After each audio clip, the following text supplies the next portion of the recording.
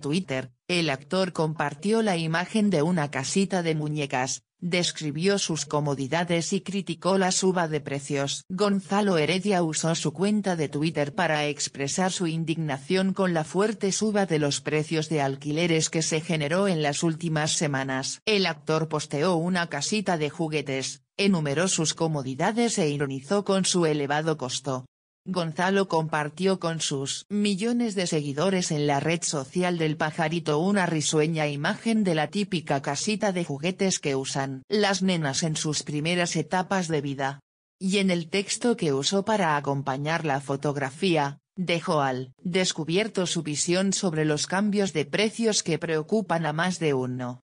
Con una cajita que incluía una casa de plástico, Heredia armó una suerte de anuncio de alquiler de la propiedad oportunidad. Lindísimo loft en alquiler. Totalmente amoblado y equipado de 27 metros cuadrados, ubicado en el corazón de Palermo Hollywood. Gimnasio, parrilla, pileta y solarium, y para rematar publicó el precio ficticio, 6 mil dólares estadounidenses, 21 mil dólares expensas, describió en el escrito.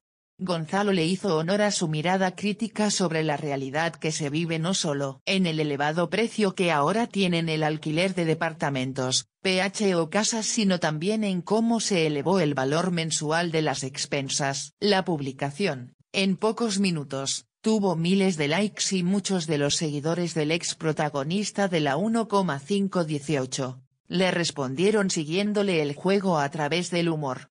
Uno de los comentarios que más se destacó fue el de una de las usuarias de la red social que le contestó con un simpático chiste. Requisitos, mes de depósito, mes de salida, sin hijos, sin mascotas, pelos de dragón,